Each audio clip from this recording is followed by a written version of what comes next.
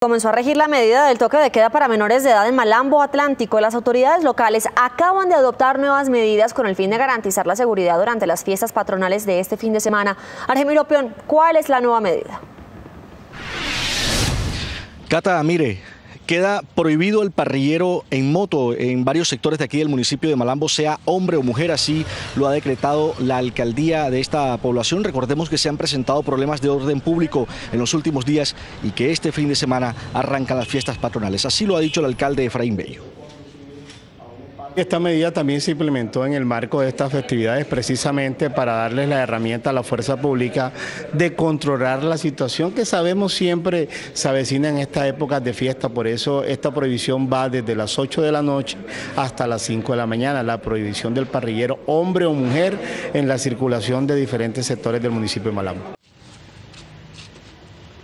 Bueno, y el toque de queda para menores de edad, nos dicen que eh, fue un éxito. Anoche no hubo problemas aquí en el municipio de Malambo, lo que se venía presentando con el tema de las bolas de candela, con los enfrentamientos entre jóvenes y policía, no ocurrió anoche gracias al toque de queda, pero también gracias a una actividad que realizaron las autoridades aquí en la plaza central donde nos encontramos.